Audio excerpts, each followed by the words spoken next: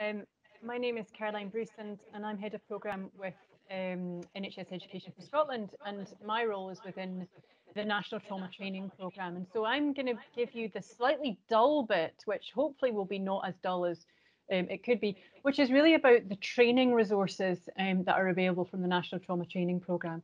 Can I have the next slide, please?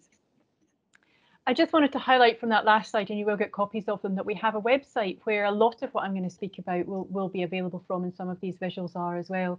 But I wanted to kick off just by saying, why would we have a national trauma training programme? And one of our phrases that we think is, is really critical is trauma is everybody's business. And that certainly came through from Helena's presentation just there, is that we know now more than ever before that the impact of trauma and adversity, both in early childhood and later on in adulthood, has huge and massive implications um, throughout all of our lives when we experience it.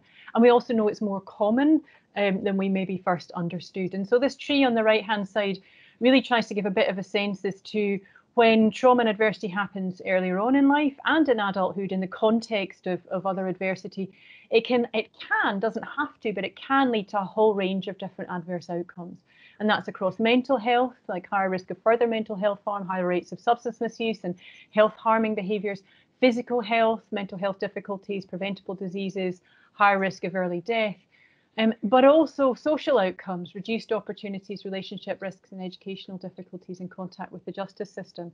Um, and that reduced opportunities also includes um, reduced opportunities in terms of housing. Um, and and I think it's really important at this point to say adversity is not destiny. You know, this tree is growing, could grow in 101 different ways. And the place where we can really intervene is trying to understand what are the factors that link between early adversity and trauma and, and later on some of these outcomes. And, and actually, it sits in the main with our capacity as humans to be able to adapt to the trauma we're being exposed to at the time to be able to survive it. And people show remarkable resilience in being able to survive our traumatic experiences. Difficulties in managing strong emotions, though, can arise from that because, quite understandably, those emotions are there for a reason. They're there to try and protect us, to get us to escape from danger. Risky strategies to manage distress, like substance misuse, because we've got to manage it somehow. And difficulties in relationships with others, uh, for example, with trust. And actually, that is what keeps us safe. If we learn that other trauma most often happens in relationships, and therefore we're going to learn that we've got to be really suspicious around other, other people. So, those kind of three key factors can really lead to some of those outcomes, which are not inevitable. And that's what trauma informed practice is all about. It's about recognizing the inequalities that the impact of trauma can lead to unless we are actively trauma informed in our approach and take that into account. Next slide, please. So this is um, a, a, slightly complicated looking slide, but it really, I think language really, really matters. What do we mean when we're talking about trauma versus what do we mean when we're talking about adversity? So on the left hand side there, you probably re be relatively familiar with some of the ad adverse childhood experiences literature. On the left-hand side there, you can see some of those ACEs, which you would say as being adverse. And then within the adverse childhood experiences, we also have traumatic experiences such as emotional abuse, physical abuse, and sexual abuse. And they can also happen in adulthood. So towards the right-hand side, you've got trauma in adulthood. Um, and we know that there are significant links between exposure to those early childhood traumatic events and the likelihood of later traumatic events happening as well. And we we multiply talk about different kinds of traumatic events. So we can have single incident trauma at the bottom, like an acute health crisis or rape or road traffic accident. But then we can have complex trauma or repeated traumatic events. That's chronic life-threatening illness, for example, domestic abuse, sexual abuse in adulthood, etc. Next click, please. And on top of all that, we're in a global pandemic, and there's a whole range of ways in which that overlaps across that. So we're all being exposed to the uncertain threat of COVID 19 and the impact that it might have on us and our, our, our, our loved ones. And we're also being exposed to the fact that it's uncertain in terms of our relationships. We don't know where the threat lies, we don't know where potential um, infection from COVID-19 might come from. It might come from our nearest and dearest. It might come from, from complete strangers. So there's an unpredictable nature of traumatic events, which COVID-19 really, really taps into in terms of not knowing where the threat is and when, and also not knowing when it's going to be ended. So COVID-19 could be thought of as a potentially traumatizing event in and of itself.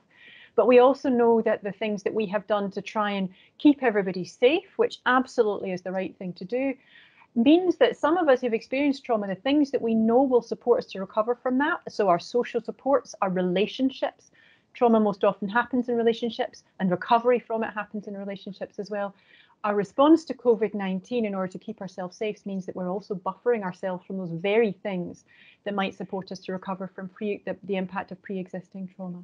And we also know that COVID-19, because of our response to it, as also means that we have a little bit more vulnerability to a range of other traumatic events, which can have significant impact on housing and homelessness. For example, we know there's an increased rise in domestic abuse, an increased rise in, in concern also about emotional abuse, physical abuse and se sexual abuse for children without necessarily having the capacity to escape from it. So we have this complex existing picture and then COVID-19 mapping on top of it. Next slide, please. And so I suppose it's really important just briefly to say, what do we mean by a trauma-informed nation? What do we mean by a trauma-informed approach? And I, you know, I could speak for hours on this, as, as, as Laura well, well knows, but I'm just going to briefly summarize it. Is it means that we all realize the prevalence of trauma and we recognize the impact of trauma, especially with respect to the barriers it can create to accessing life chances. And I think particularly in a housing context, thinking about what are the ways in which the impact of trauma can affect our capacity to access housing, to maintain tenancies, but also the risks of becoming homeless as well. And we know that there are significant overlaps there. My very first job after I qualified was to be the founding member of the um, Greater Glasgow and Clyde Trauma and Homelessness team. And just looking at the, I think the, the term that, that the report that predated that team was disempowerment and disconnection. And that holds in line with the impact of trauma and it also holds in line with how we can feel um, without the basic safety that a, a home can provide for us. A trauma informed nation responds with that recognition in mind. It knows the barriers that the impact of trauma can create in accessing those life chances. And the key principles do no harm, so don't re traumatize, support recovery, and create systems that remove potential trauma related barriers to accessing what we need to recover and that resilience is recognised and supported, that we often can take a deficits-based approach, particularly for people affected by trauma in terms of you know, what's lacking or what they're struggling with, and we're failing to recognise actually the strengths that they bring um, because of their exposure and, and survival through a whole range of different experiences. And relationships matter, and that misspelling is intentional. And it was my great colleague Jenny Young that really stressed this in the first instances Trauma most often happens in relationships and recovery from it most often happens in real relationships with real human beings. Next click, please. And so resisting re-traumatization is a big part of a trauma-informed nation and system. It means that we all understand that trauma-related memories, feelings and responses can be really easily triggered by subtle or innocuous events or relationships. And a trauma-informed nation, service or individual offers the opposite of a traumatizing relationship. Next click. So if everywhere we can make sure that everyone feels safe, that they've got a sense of choice, that they feel and we are genuinely offering collaboration, that they're being empowered, that we support that empowerment, and they've got a trusting relationship. We recognize that we have to work harder in order to make sure we gain people's trust because of the lack of trust that's been there before in previous traumatizing relationships. If we do all those things in our systems, our services, and our relationships, it means that we are offering the opposite of a traumatizing relationship. We are not triggering those trauma related feelings and memories that mean that people will disconnect from us and our services and prevent people from accessing the life chances that they need and deserve. Next clip, please. And so this is the vision of the Scottish Government, a trauma-informed and responsive nation and workforce that's capable of recognising where people affected by trauma and adversity, that's able to respond in ways that prevent further harm and support recovery, and can address inequalities improve, and improve life chances. Next click, please. And the National Trauma Training Programme is very much about creating, disseminating education and training tools and resources that enable organisations and individuals to create a trauma-informed and responsive workforce to support that vision. Next click, please. And so what is the National Trauma Training Programme? Well, on the left-hand side there, you'll see our fundamental document, which is a knowledge and skills framework, all 130 pages of it, which you don't need to read all of. But basically what it says in really great detail is, what do we all need to know and what do we all need to do, be able to do in order to be able to create that trauma-informed um, uh, nation. And in recognition of the fact that you know the National Trauma Training Programme is not the only show in town, that right-hand document, the Scottish Psychological Trauma Training Plan, is for organisations and individuals to be able to identify, okay, what training do I need? What knowledge and skills do I need? How do I apply this knowledge and skills framework? And how do I identify good training that will help me develop those knowledge and skills? Not everybody needs to be a trauma expert. In fact, most people need to know just a bit about trauma. So we've divided the workforce into people who need to be trauma informed, trauma skilled, trauma enhanced, and trauma specialists. Next click, please. And that's described in this next slide here. If you look at the, the pyramid in the middle. We've talked about trauma informed, skilled, enhanced, and specialist, and that's leading people kind of from that's really based on the role that you have in working with people affected by trauma. And if you look on the left hand side, people who are trauma informed, skilled, those are the people who don't have an explicit role in the recovery of people affected by trauma, but they do have an explicit role in supporting people to access services. And then at the trauma special and enhanced level, it's people who have an explicit role in supporting children or adults affected by trauma to recover. And when we think about trauma specialists and trauma enhanced people, they're offering evidence based approaches to recognise resilience and support psychological recovery.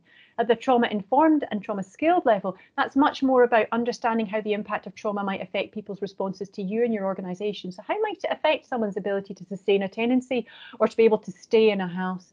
and adapt how you work so that you do no further harm, so you don't re traumatize, and the impact of trauma doesn't create a barrier. So you recognize where someone may be fleeing from traumatic events and how that's impacting on their ability to, to be able to access a safe home and your role and be able to support that. Next clip, please. And so how do we implement it? I'm just going to highlight this document on the right hand side, which is a PDF that you'll get after the session, which is all of the different training resources that we offer at the National Trauma Training Programme. And I would very much encourage you to have a look, if you haven't already, at our animations, Opening Doors and Sowing Seeds about what trauma-informed practice actually looks like.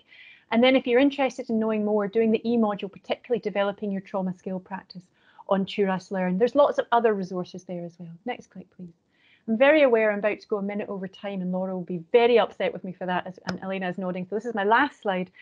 And the thing that I wanted to say about this is right front and centre here, we've got workforce knowledge and skills, but that's just one part of creating a trauma informed organisation. You can't pour from an empty cup, and we can't expect our workforce to be trauma informed without surrounding them with a trauma informed organisation that they can trust, that they feel safe, and they can do those new things that we're asking them to do in a trauma informed way, feeling safe in that. And that takes leadership and organizational support. Leaders have to walk the talk in order to be able to support that and also coach the workforce to be able to use those knowledge and skills in practice. And on the right hand side, there's no such thing as a trauma informed organization without it being informed by people affected by trauma. So, how are we creating and designing housing systems and housing support systems that make sure that we're understanding from the people that are using those systems what they need and how they're experiencing us? And finally, and most importantly, they were collaborate, collaborating and sharing power with people with lived experience of trauma. You know, Jenny Young always talks about there's no such thing as a trauma informed organisation that isn't informed by people affected by trauma. What are they telling us about what we need? It's not about what colour should this room be? It's do we need a room and what should we use that room for? So I think I'll finish there. Apologies for the two minutes extra, but that's a little bit of a gallop through the National Trauma Training Programme. Thank you.